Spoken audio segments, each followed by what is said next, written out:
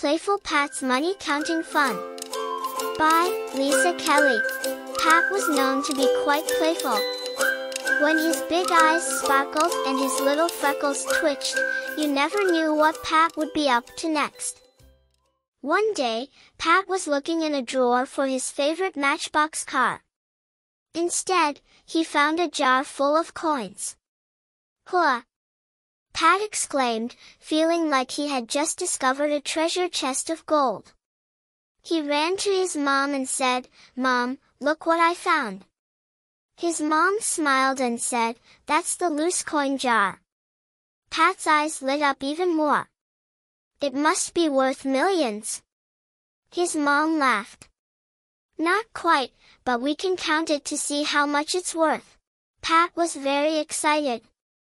First, they organized everything into similar piles, the copper-looking ones in one pile, the silver ones with five cents on them in another, the small cute ones in another, and the biggest ones in the last pile.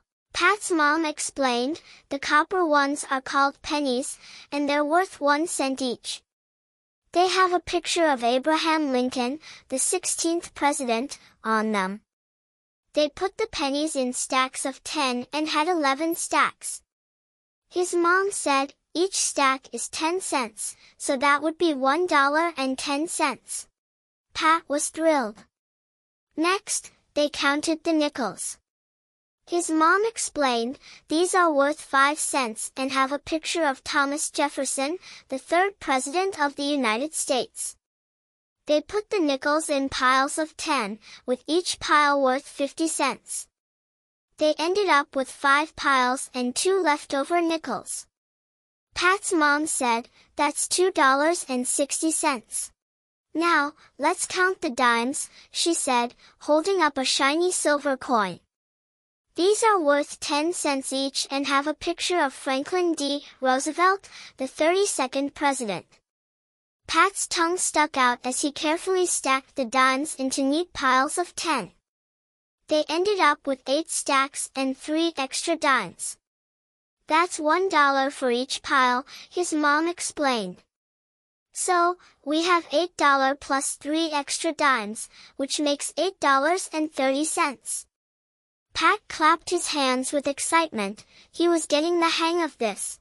Finally, they moved on to the biggest coins. These are quarters, his mom said. They're worth 25 cents each and have a picture of George Washington, our first president. Pat was amazed at how much these coins were worth. Many of the coins had a picture on the back representing different states. They had six stacks of quarters and two left over. That was $6.50. Pat was so happy with all the counting they had done. He realized that what seemed like just a bunch of coins could actually add up to real money. Wow, Mom! I can't believe we counted all that. His mom smiled. Now you know how to count coins, Pat. Every penny, nickel, dime, and quarter counts. As they finished up, Pat looked at the jar of coins and grinned. Maybe I can start saving these coins to buy something special. His mom nodded.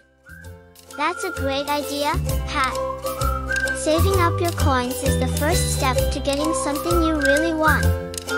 Pat felt proud. He might not have found his Matchbox car, but he had found something even better, an adventure in counting money. The end.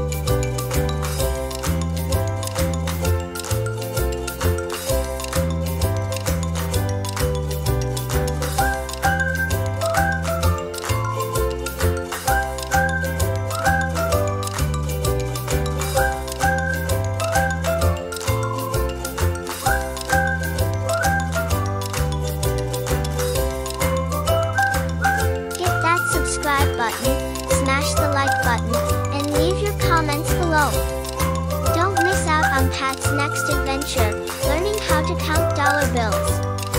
The world is waiting, and the adventure starts now. Get ready for an exciting adventure with Playful Pat and Playful Pats and Money Counting Fun. Join Pat as he discovers a bowl full of coins that turns into a treasure of learning. With his mom by his side,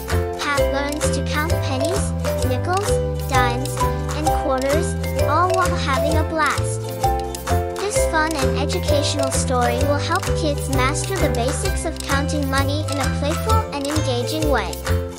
Perfect for young readers and parents alike, this book makes learning about money an exciting journey. Whether you're saving up for something special or just want to learn about coins, Pat's adventure will spark your curiosity and make counting fun.